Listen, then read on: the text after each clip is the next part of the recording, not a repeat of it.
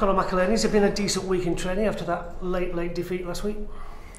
Yeah, uh, unlucky, unlucky to concede two late goals, um, especially in a big derby. But um, yeah, it's just that we bounce back. So hopefully we can do that in a couple of days' time. You couldn't have a better fixture in many ways. Wigan coming, if they win and results go forward, they'll do the job and get promotion. But you can put a pin in the balloon, can you? Yeah, exactly. Um, I don't think not, not lads are going to be letting up.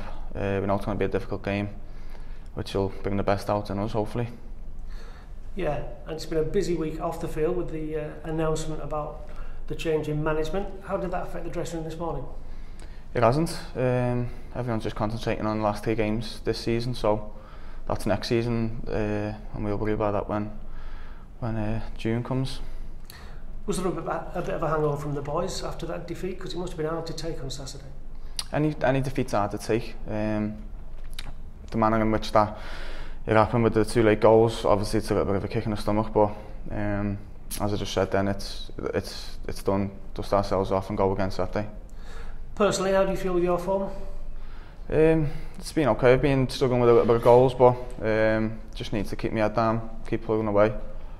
and yeah, uh, hopefully the next one goes in for me couple of giants you'll be immediately up against on Saturday in Danburn and uh, Dunkley. They are big boys, aren't they?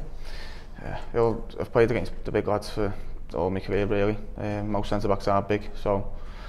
Um, and they don't like little nippy players anyway, do they? So, um, just uh, let's see what happens on Saturday. Do you feast on balls down the channels?